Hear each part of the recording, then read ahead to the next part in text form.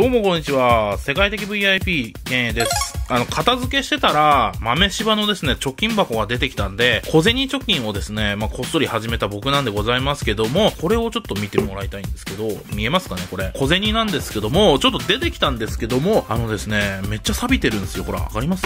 まあ、銀行とかに持っていけば変えてくれるとは思うんですけど、ちょっと行くのめんどくさいんで、今回はですね、錆び落としをやろうかなと思います。結構ね、裏面とかはまあまあ綺麗なんだけど、表面がさ、ひどいことになってますね。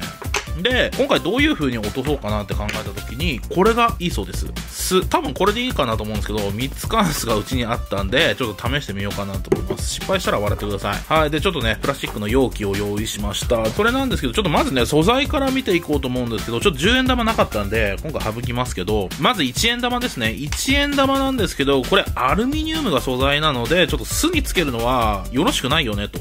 多分溶けちゃうんですよね。なので今回はちょっとやりません。別にですね、なんかあの、研磨剤とか買ってきて、ガーゼとかで拭けば多分綺麗になるはずなんで今回はこれは省きます次5円玉ですね5円玉4枚あるんですけどもこれはですね素材は王道になるので3でですね汚れが落ちるはずですなので5円玉はプラスチックにれます。はい、そして100円玉なんですけども、100円玉は、えっ、ー、と、白銅ですね。素材は白銅とそ、ニッケルが含まれてるはずなんで、ニッケルっていうのは酸では別に落ちないと思うので、まあ100%は落ちないと思いますけど、ちょっとは良くなるはずだと思います。なので、えー、巣につけた後に、その後ですね、まあ研磨剤とか、そういったなんかパウダーとか使って磨こうかなと思います。で、今回ね、多分一番家庭にあるであろう歯磨き粉とか使ってね、やろうかなと思いますんで、ちょっと実験にお付きき合いください。では、これも入れます。こんな感じですね。で、酢を入れなきゃいけないんですけども、これ浸すぐらいが多分いいと思いますんで、いきまーす。よしこのぐらいでいいですかね。結構ねひたひたにしました。では早速ですねしばらく置いてみたいと思います、はい、しばらくね置いてみました。そうするとねこんな感じになりました。わかります？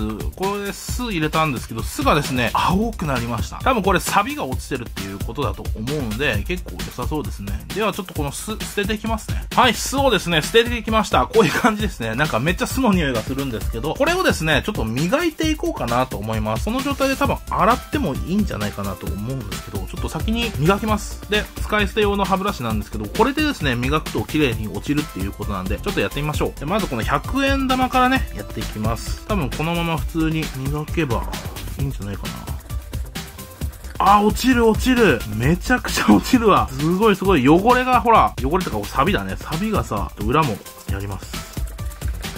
あー、これすごいいい感じだわ。入念にやらないとなかなか落ちないですね。100円玉に関しては。ちょっとね、えー、歯ブラシでこすったんですけども、あの、しっかりですね、汚れが落ちました。どう？ちょっとここら辺ちょっとまだ黒いんですけど、これちょっと後で水で流してやれば多分綺麗に落ちるんじゃないかな。こういった感じ。汚れがね、なんか落ちていく感じがわかりますね。はい、こんな感じ。めっちゃ綺麗になったな。前と比べてみると多分すごい綺麗ですよ。続きまして、このめっちゃ汚れてる5円玉いきましょう。あー、ちょっと待って、すごいなんか汚れが落ちる。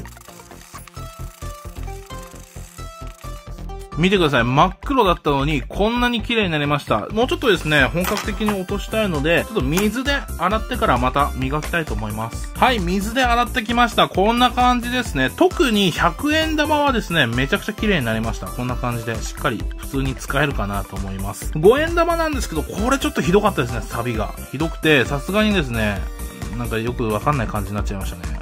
こんな感じで。ちょっとこれサビがひどかったんで、あんまり落ちなかったんですけども、他にもですね、漂白剤とかですね、あの、研磨剤とか使っていただくとめっちゃ綺麗に落ちるよっていうのもあったんで、まあそこら辺もね、試していただければなという感じに思います。今回これで満足かなと思います。あの、僕がやりたいのが、あの、ゆうちょ銀行の ATM って小銭が入るんですよ。それに、あの、入金したいなと思います。はい、そんなわけで今回はですね、小銭をですね、巣につけて歯ブラシで磨いてみたら結構汚れが落ちましたよっていうお話でした。ぜひ参考にしてみてください。お疲れ様でした。